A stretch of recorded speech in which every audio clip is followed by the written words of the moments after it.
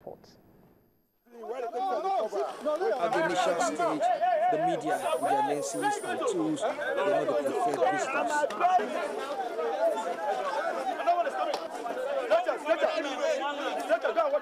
This is what has been going on since the collapse of the six-story building was reported.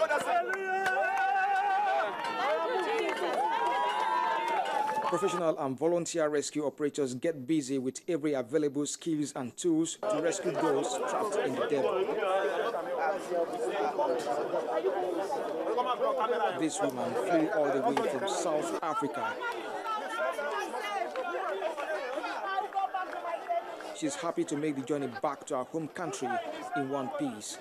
More and more survivors are still being brought out, and almost every three minutes, someone is brought out from the rubble. For others who somehow survived these, they believe there must have been forces behind their escape. Wait, wait, wait, wait! Hey! Leave the place! Church members cheer as they are stretched into waiting ambulances. It is quite difficult to ascertain the number of victims involved.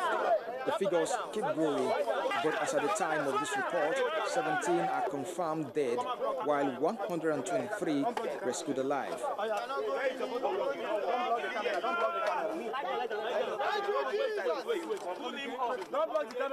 The four-story building was serving as lodgement for visitors, especially foreigners.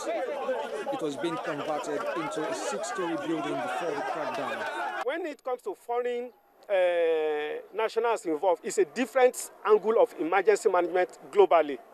It's no longer a local or states It's going to be an international and national emergency response. We are going to come up with national plan involving private and public institutions so that we will have smooth operations, smooth uh, intervention in future. This is the only thing we had, though we had little, little skirmishes on under misunderstanding yesterday and early this morning, but this had been resolved now. When you talk about the operation is still ongoing, we've put in all our machinery in place. We are on top of all our challenges, and the operation is smooth, prompt, effective, and efficient. The local people on the ground with us, and they've been taking all the uh, all the victims to the Lagos State hospitals, Okay, let me where come in they are receiving uh, medical attention.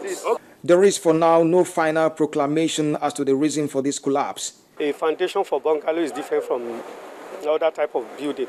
If you have a foundation starting for two, three, four-story building, it's different from the one that we come up for six, seven story building. So until when investigation is concluded, we cannot actually say this is the cause. But all what we know is that additional building might have put much pressure on the building, which must have affected the foundation. Rescue operation is still going on and affected victims are still being evacuated from the debris. We've not gotten any official statement from the church authority, but reliable information has it that that be made available as soon as investigations are completed. Kelvin Obetin, Channels